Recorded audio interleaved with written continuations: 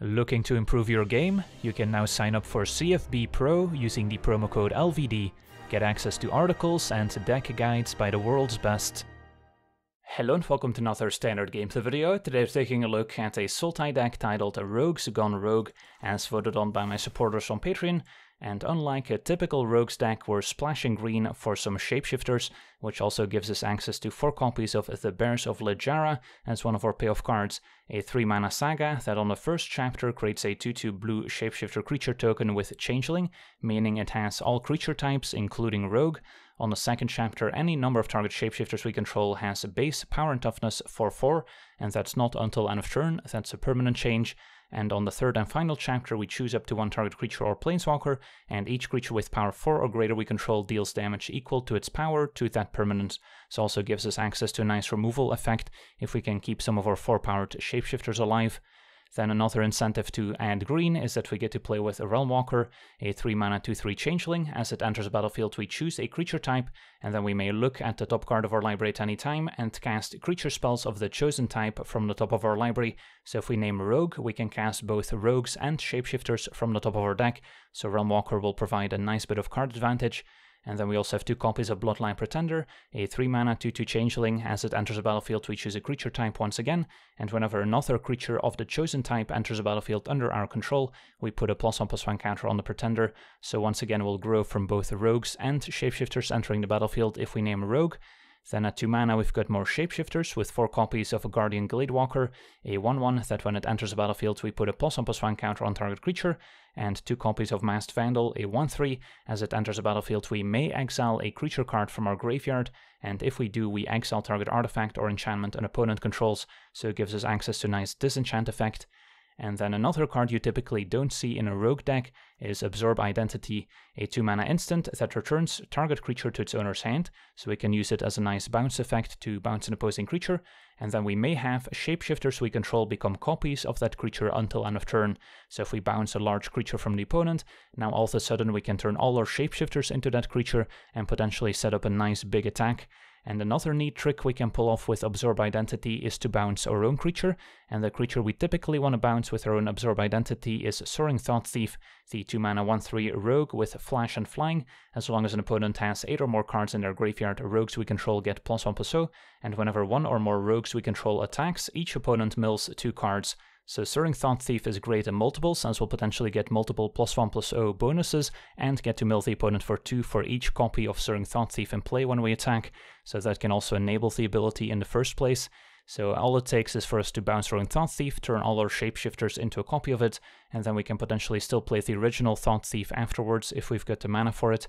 And then another creature that's potentially worth copying with our own Absorb Identity is Thieves Guild Enforcer, the 1 mana 1 1 rogue with flash, and when it enters the battlefield or another rogue enters the battlefield under our control, each opponent mills 2 cards, and as long as the opponent has 8 or more cards in their graveyard, the Enforcer gets plus 2 plus 1 and has Death Touch. So if we can turn all our creatures into enforcers, not only do we have an army of death-touching creatures to attack with, but if we play any rogues or shapeshifters afterwards, we'll get to mill the opponent for quite a bit to potentially win by milling.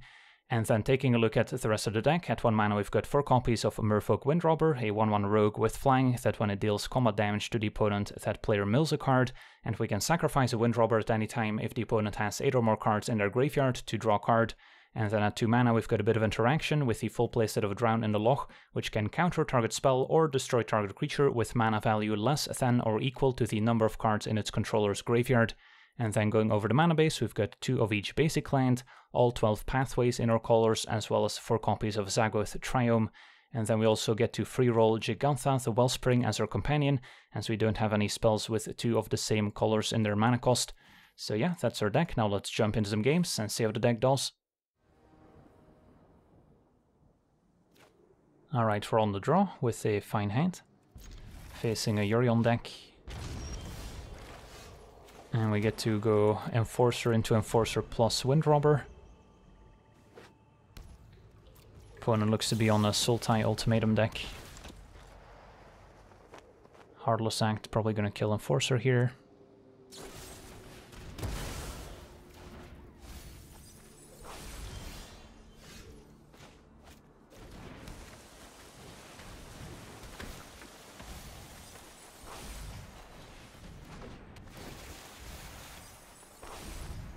Alright, they're playing with Eerie Ultimatum instead. An Abs on deck.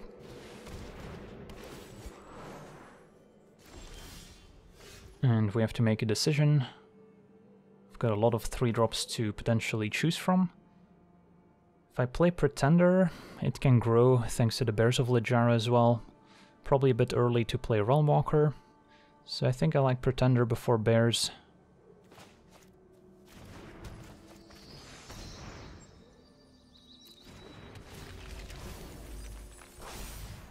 Then do we want to trade? I think so.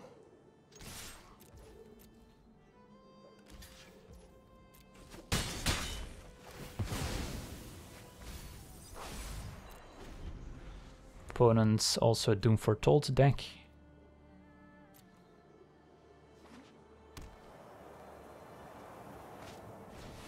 And Binding gonna take out our Pretender.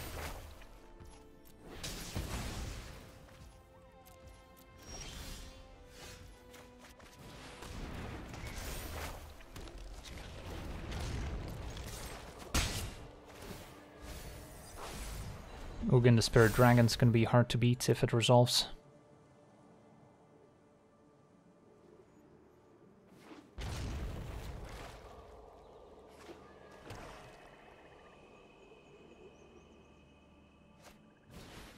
Wolfwillow Haven for a bit of ramp into a Solemn Simulacrum.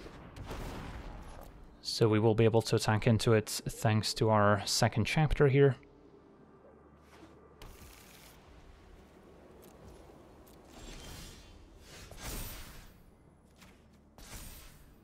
So step one, attack.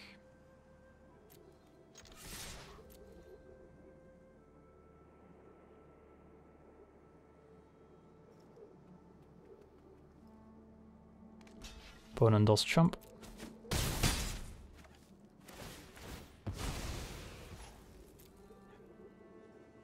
So as much as it's nice to get the Realmwalker out there, I probably need to keep up mana to potentially draw into a Drown in the Loch if our opponent does have a big play like an Ugin or an Ultimatum.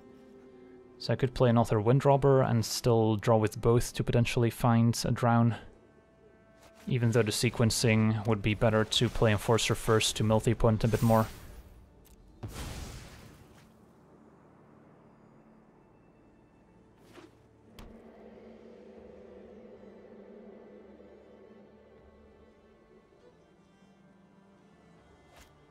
It's going to be a Pelakka Predation, which can take the Realmwalker.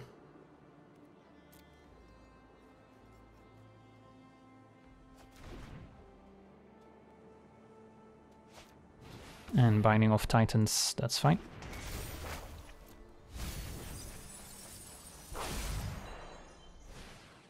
Yorion goes to hand, we'll play Enforcer.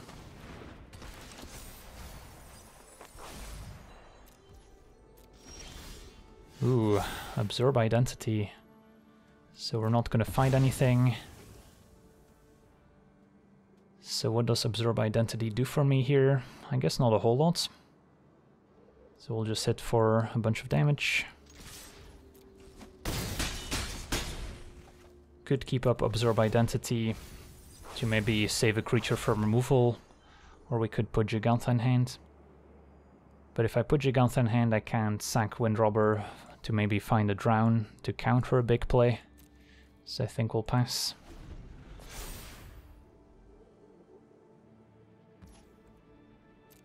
Opponent gains two.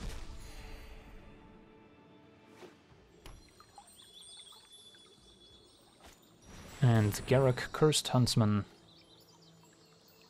If they minus, we can finish it off with our Windrobbers, so they're probably gonna make some wolves. I can bounce one of the wolves with Absorb Identity, and then take out Garruk. So I think we let that resolve.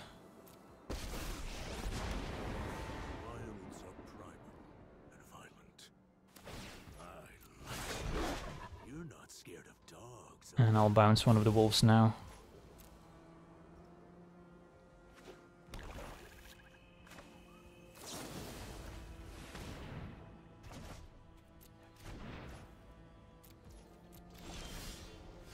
Alright, so Probably worth it to finish off Garruk.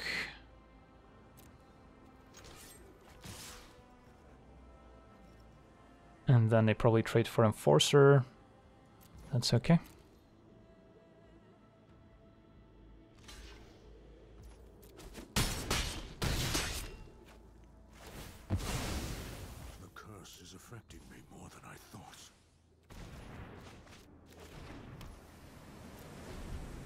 Still have the option to draw into a counterspell if needed. Although probably not going to do so for a Yorion. Opponent gets back Solemn Simulacrum. Since they can flicker it with Yorion to get extra value.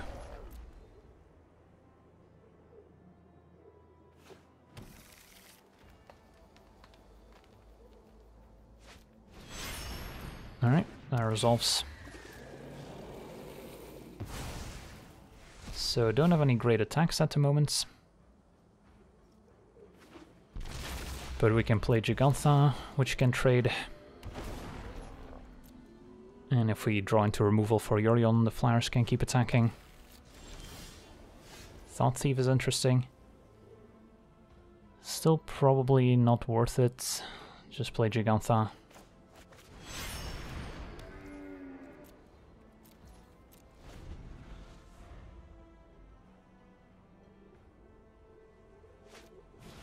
Binding can kill Jegantha, sadly.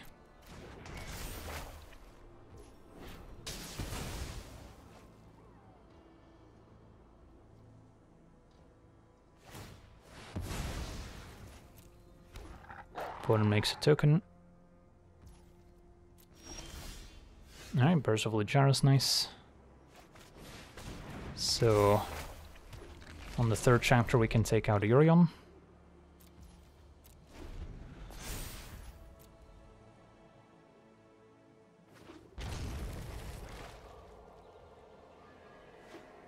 Just a line for the opponents. Don't think I need to play Thought Thief, or do we? Yeah, I think I'll hold it. Ooh, Absorb Identity. That's interesting. So I can play Thought Thief, absorb it to turn my shapeshifters into Thought Thieves. And then we'll have two Thought Thieves in play, attack with everyone. So all my creatures are 3 power. So had I played Thought Thief end of turn, this would have been lethal since I could have replayed it. As is... Might still be worth it. Because then we can finish them off with a flyer next turn. Or I can wait since we have this third chapter incoming. Yeah, I guess we'll wait a turn.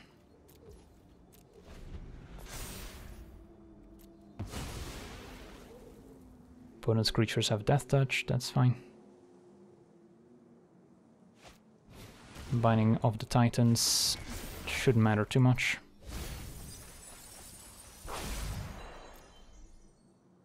Alright, so we get to combo off here.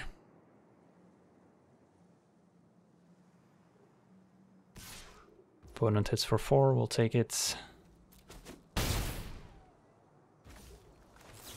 Play Thought Thief.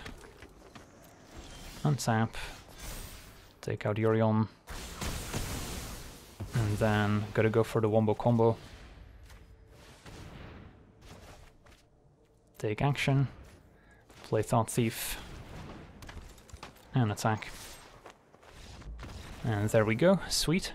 On to the next one. Alright, we're on the play with a reasonable hand.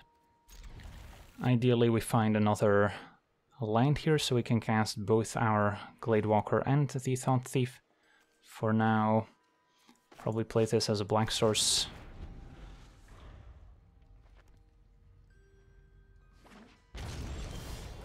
Alright, that's great. So now we get to play a Thought Thief.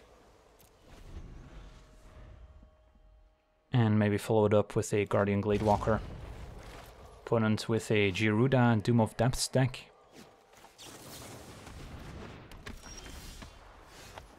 And can't quite play the Triome and play Glade Gladewalker, so...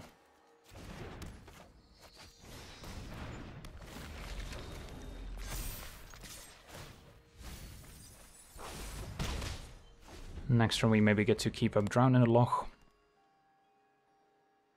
And then Absorb Identity could also be an interesting one, bouncing a big creature like Gyruda. Windrobber cannot be played if we want to keep up a Drown in the Loch. So, start by attacking.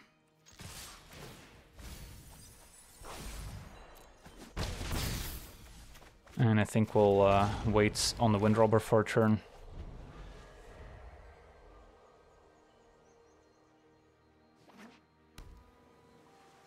Could see an Extinction event, which is worth countering.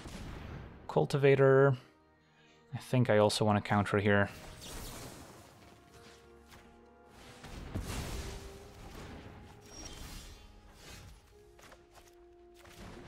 Alright, let's play the Windrobber.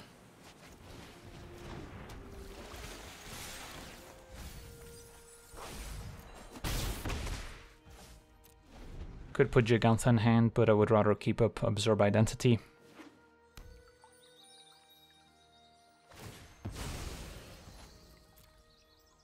So we now get the Thought Thief bonus. Another Cultivator is fine.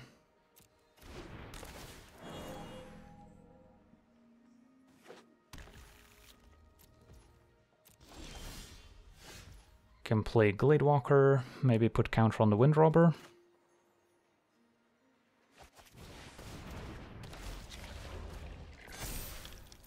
Attack for 6, so we've got a 2 turn clock here.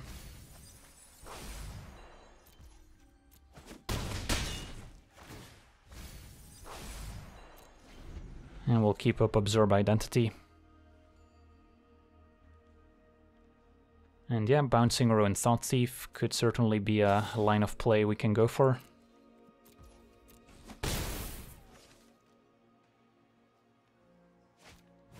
Alright, Blood on the Snow to destroy all creatures. That is unfortunate, so we'll sacrifice a Windrobber. Draw card, can maybe find another Drown. And then I'm gonna absorb Identity, bouncing Thought Thief.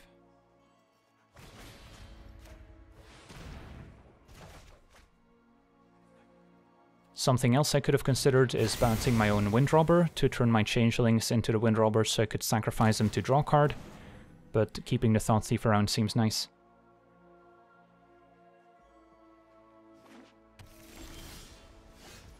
Alright, so now we can play Bears of Littjara. And play this Thought Thief end of turn.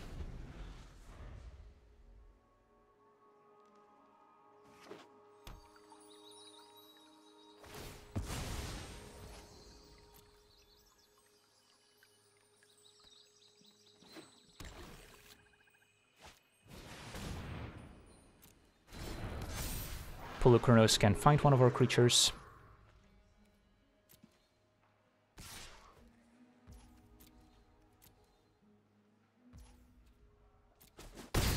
So if I play the Thought Thief end of turn, they will just use Polukranos' ability before I get to untap and keep up Absorb Identity. So I probably just have to untap first.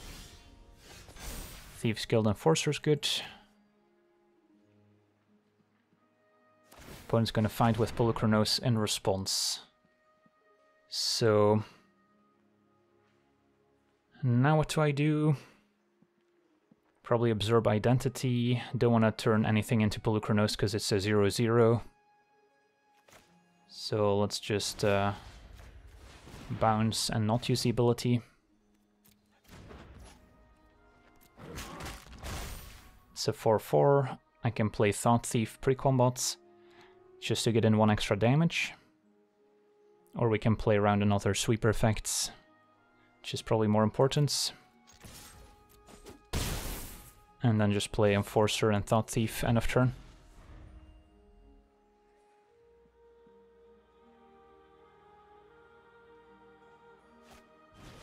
Opponent replays Polukranos.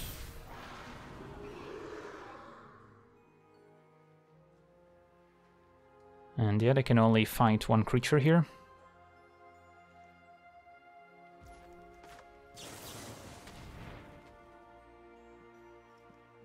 So they fight the Thought Thief, my Changeling can take out Cultivator, and we can attack for the win.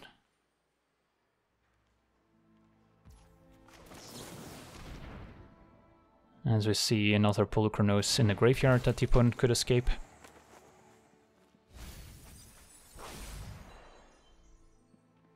So opponent's gonna fight the Thought Thief, but the third chapter takes out Cultivator.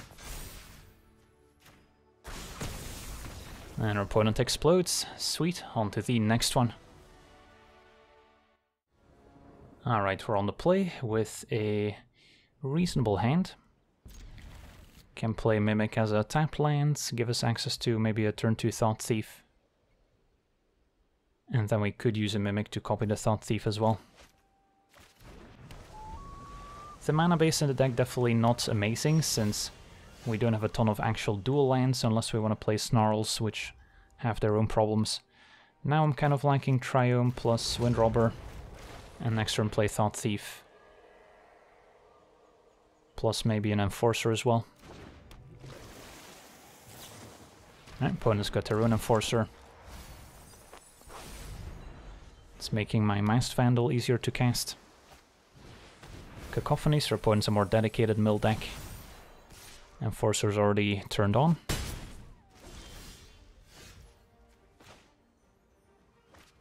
Could also decide to play a Bloodline Pretender before playing more rogues, although it does still trade for the Death Touching Enforcer, so it doesn't seem incredibly useful. So instead we'll play Enforcer into Thought Thief.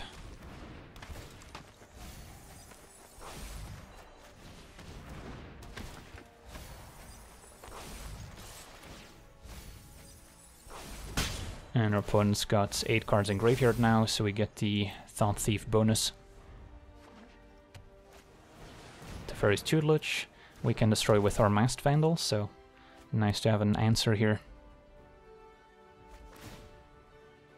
See a Zareth as well, another card we could be playing.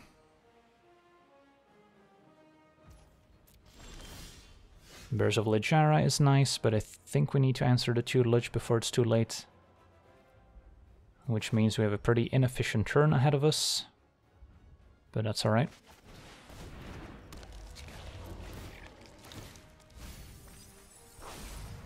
And then doesn't matter too much what we exile. And then I think I'm okay trading my Enforcer here.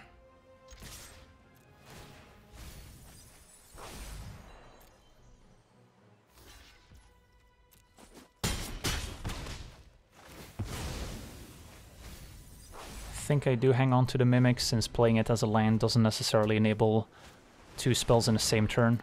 And yeah, Into the Story was one of the main reasons I wanted to deal with Tutelage right away. Otherwise I would have milled this for a lot. Alright, so we'll play Mimic now. Copy Thought Thief. Attack for 9.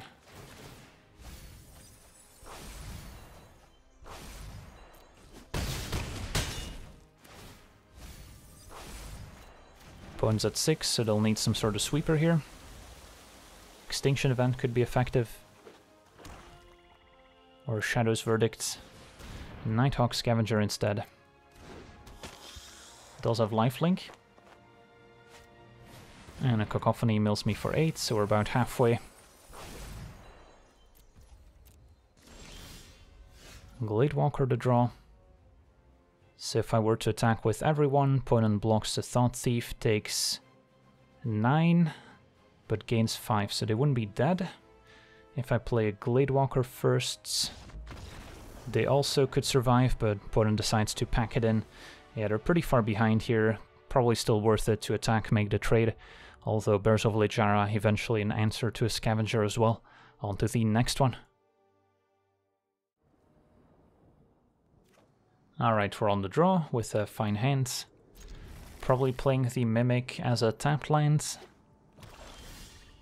Especially now that we drew a second one. And then turn to Thought Thief, take it from there.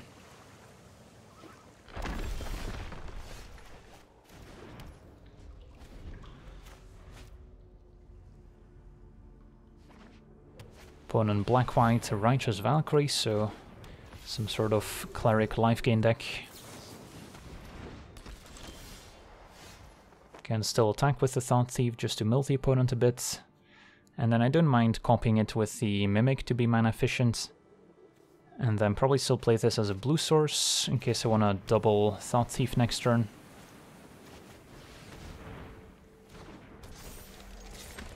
This way we get to mill for 4.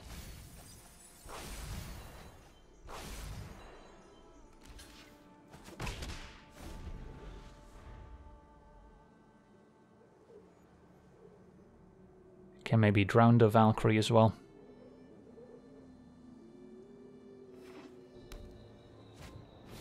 There's Vito. Okay. And Valkyrie stays back and force her to draw. Only have a single black mana to work with this turn. So we could go Drown plus Gladewalker. Kill the Valkyrie, attack for a bunch. And then Gladewalker puts its counter on a Thought Thief probably.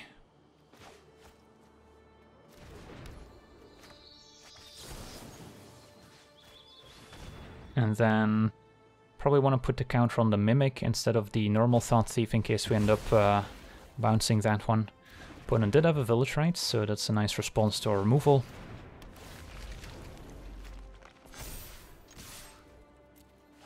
But we do get to power up our rogues here. Opponent takes 7. And if we draw Swamp, we can double Thought Thief. Another Valkyrie into a Youthful Valkyrie, so that triggers Vito.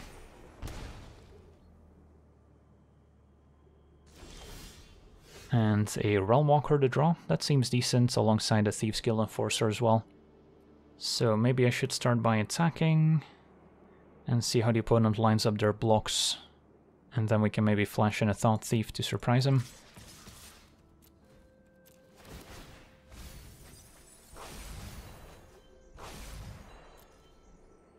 A card like Baneslayer Angel is going to be problematic. Opponent goes to damage, that's fine. And then play Realmwalker, see what's on top. A Drown, okay. And then we can keep Enforcer at instant speed.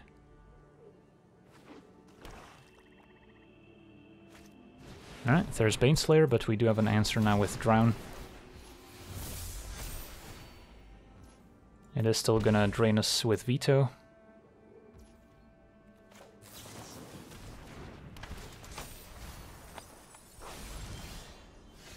And then we can also play Gladewalker off the top for free. So gotta kill Baneslayer. I guess I might as well play this one first.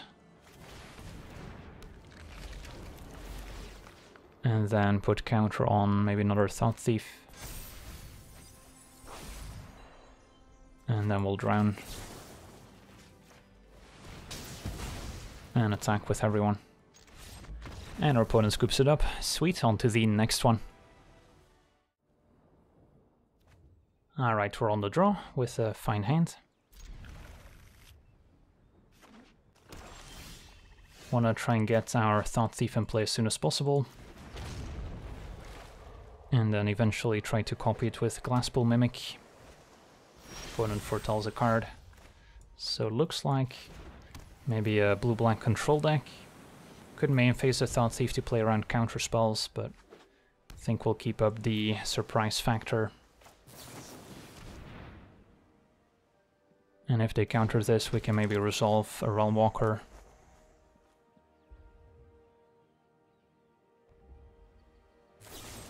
Alright, poison a cup to take it out.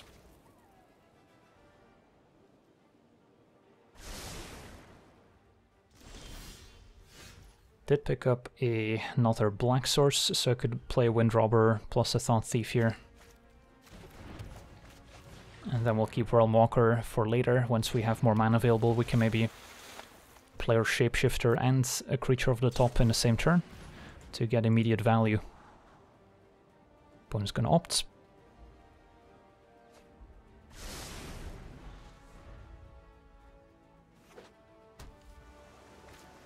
And Hakka, Whispering Raven, does a pretty good job on defense.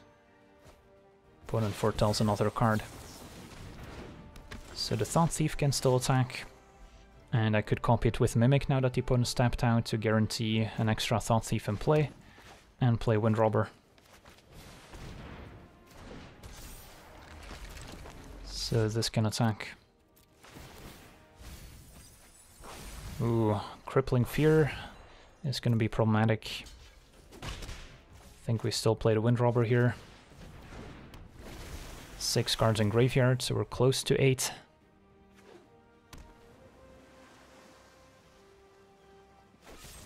Poison Cup number two takes out Thought Thief. But as soon as we turn our creature sideways, we'll get the Thought Thief bonus. Yeah, I'll take the damage. They can replay Hakka if they want.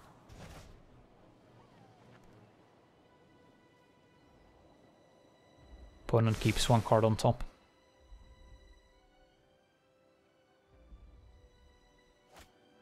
And replays the Whispering Raven.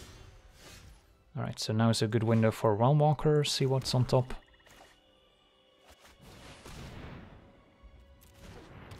Right, Glasspool Mimic for next turn. So probably just the Thought Thief attacking. Do I play Masked Vandal? Yeah, could be worth it. Another Crippling Fear gone, so that's what opponent kept on top, but of course they could have uh, expected us to mill it.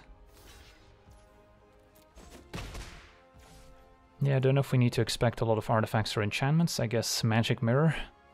So maybe we'll hang on to the Masked Vandal here. Opponent still missing double black for the Crippling Fear. E to Extinction on the Thought Thief. So won't be able to copy it next turn.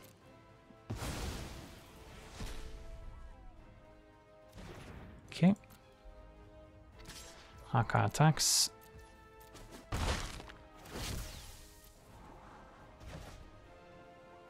Having a second Realmwalker is good insurance against removal, I suppose. So can't get any value off the top, sadly, unless we sack a Windrobber. Which could honestly be worth it, since it's not attacking into Hakka anyway. So step one, attack. Sacrifice Windrobber to see what's next. Another land. Do I sacrifice a second Windrobber? I think I need to find more action. Could also put Jegantha in our hands.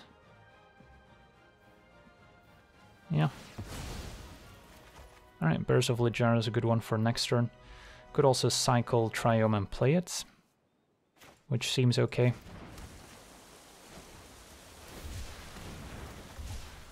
Thought Thief on top. Alright, that's probably worth it. Give up our bears to get some value.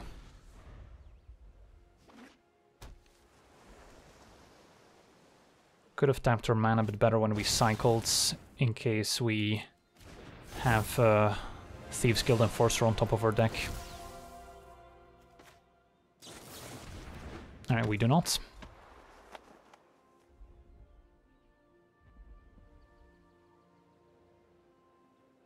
So now we can copy the Thought Thief and play Bears. Opponent revealed Murderous Rider, but not an instant. And a Bloodline Pretender on top we could play as well. So let's stamp this for us now. Name Rogue. And then I think I like Mimic on Thief while they're mostly tapped out.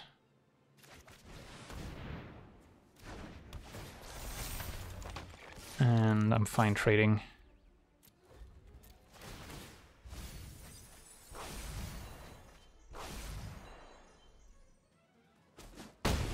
Opponent takes it. Alright, let's see if they have any sweepers here. There's a double black. Do they have a crippling fear? Just a murderous rider on Thought Thief. That's acceptable.